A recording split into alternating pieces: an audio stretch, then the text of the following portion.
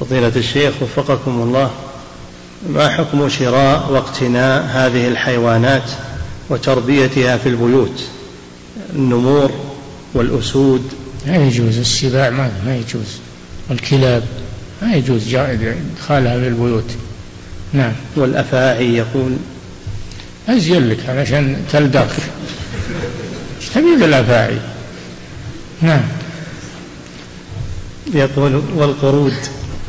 ولا القرود كل ما لك ما لك منها مصلحة هذه كلها. ونجسة أيضا. نعم. وأخيرا حفظك الله الببغاء يقول نعم. الببغاء طيور. نعم. لا الطيور لا بأس. نعم.